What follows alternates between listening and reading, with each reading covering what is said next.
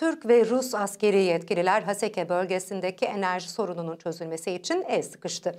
Aluk Su Tesisi ve Bakbura Elektrik Dağıtım İstasyonu'nda ortak inceleme yapıldı. Barış Pınarı Harekatı bölgesindeki 200 bin sivil elektriğe, Haseke Tel Temir hattındaki halksa içme suyuna kavuştu. Suriye'de Barış Pınarı Harekatı bölgesinde yer alan bölgeyle Haseke'deki su ve elektrik problemi çözülüyor. Türkiye ile Rusya sorunun çözülmesi için anlaşmaya vardı. Terör örgütü YPG PKK ele geçirdiği bölgelerdeki enerji kaynaklarını elinde tutuyor.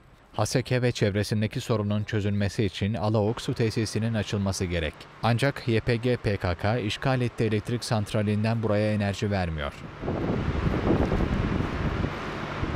Rus askeri heyet Barış Pınarı Harekatı alanında Türk askeri heyette Resulayn'da buluştu. Heyetler Alaok Su Tesisi ve Mebruki Elektrik Santrali'ni ziyaret etti, incelemelerde bulundu.